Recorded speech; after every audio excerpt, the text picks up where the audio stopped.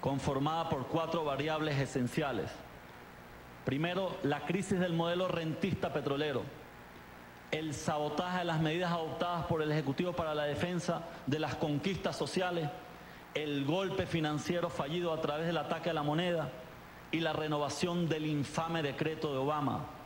Recordemos que el 13 de enero la administración del expresidente Barack Obama afirmaba que la situación en Venezuela no había mejorado y que el gobierno continúa erosionando las garantías de los derechos humanos. Vaya legado de odio y de cinismo que nos dejó el nefasto, entre comillas, Premio Nobel de la Paz. A los enemigos de la patria no les importó el destino del pueblo. Prueba de esto fue el bloqueo de cuentas de la República por parte del Banco Internacional Citibank, intentando descalificar la, la credibilidad financiera del país. Asimismo, las calificadoras de riesgo como JP Morgan presagiaban una inminente cesantía de pagos de deuda por parte de la República, logrando así un bloqueo para acceder a créditos internacionales. Igualmente, PDVSA, como nuestra principal industria generadora de divisas, fue víctima de ataques y saboteos que pretendían evitar un canje de deuda para el desarrollo de la industria. Por otro lado, como una medida de desesperación y con el objetivo adicional de evitar el cobro de aguinaldos y pensiones de nuestro pueblo durante el último trimestre del año 2016, mafias externas en complicidad con cipayos nacionales intentaron saquear activos de alta denominación del país. En su afán por hacer trizas nuestra economía, se complotaron para sacar de circulación y llevarse fuera del país todos los billetes de 100 bolívares que pudieron tenemos evidencias de que se habían llevado más de 400 mil millones de bolívares hacia diferentes destinos del mundo entero, principalmente en las cercanías de nuestras fronteras.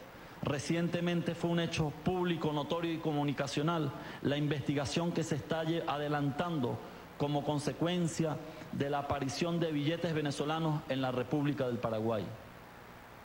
La última estrategia utilizada contra la patria fue el golpe financiero este golpe se montó sobre una estrategia para bloquear financieramente las operaciones y transacciones realizadas por la República a los efectos de evitar que cumpliéramos con los proveedores de los distintos bienes, materias primas e insumos esenciales para abastecer de medicamentos, alimentos y de servicios al país, así como la cancelación de nuestra deuda alguien pudiese pensar que estamos exagerando.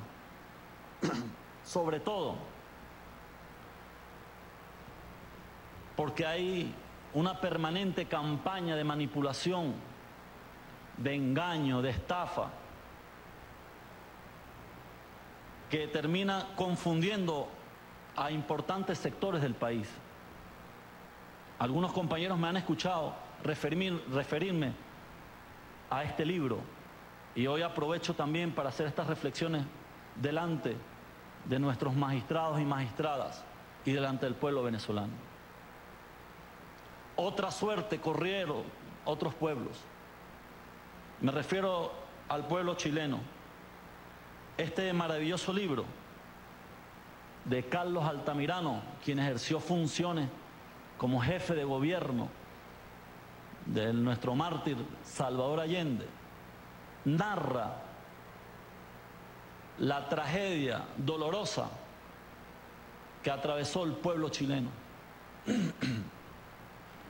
y yo quisiera leerles nada más un extracto